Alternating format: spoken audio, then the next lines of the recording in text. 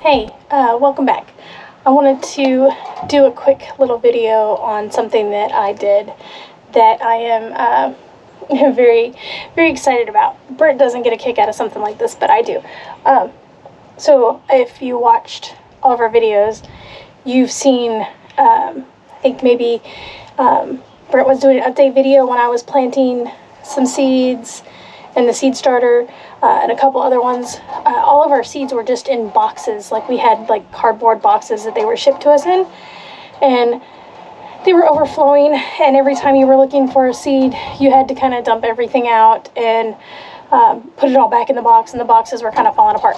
So I looked for something to kind of organize my seeds, and I came up with this. And I am in love with it. And it's super simple. This is actually a, a photo storage container. So um, I'm to see if I can't bring you in here a little bit closer. Bear with me. Let's see. Okay, so here it is. It's kind of opaque. You can kind of see through it, but it's just kind of a dark. This is actually made to hold photos. It was relatively cheap. Like, I don't think this was 10 bucks. Um, but it has these little containers that would hold like a 4x5 photo that I have labeled, which it came with these labels, um, I guess to label your, you know, what event it was. But it fits seed packets in here perfectly. Like I have, you know, all of our cucumbers are in this one, and these are seeds that we've picked up and collected. So I have cucumbers, I have, you know, my onions. Then I think in this one, which doesn't have a label on it yet, I put the extra labels and I ordered, I ordered some little, these are little envelopes. So if one of the bags or the um, envelopes that the seeds come in gets where it won't hold the seeds or it won't reseal, um, I got some little envelopes to uh, put the seeds back in. The only thing that is not in here is our corn seed, um, but that's because the corn seed, we have like three or four pounds of it. It wouldn't fit in here, but for the most part, you can see, um, you know, I have broccoli. There's two for tomatoes because we just have a lot of tomatoes.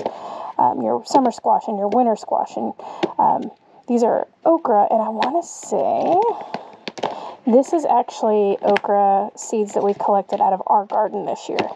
So you see I used the little the little paper, but it holds holds them in here very nicely. And now I can put this in. You don't want to store your seeds in. Um, let's see if I can. Let me get y'all turned back around. So you don't want to store your seeds where they're going to get overly hot or humid um, or they handle cold better than they do heat, but more temperature controlled. So now that it's in this nice little container, I can put it under the table or in a corner somewhere where it's more temperature controlled, and I'm not worried about our seeds um, being stored incorrectly. And they're nice and all in one spot, and I absolutely love it. And I'm fixing to go plant some more cabbage because if you didn't watch the last video, the last video is how the deer got into the garden and they ate a lot of our beans and then the cabbage that I had growing in there, they completely ate all my cabbage.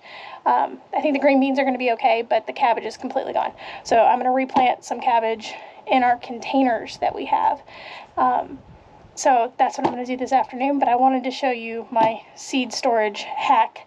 Uh, if you have any questions, let me know. Leave a like, subscribe, comment, all the things, ring the bell, and have a great day. And we'll see you next time.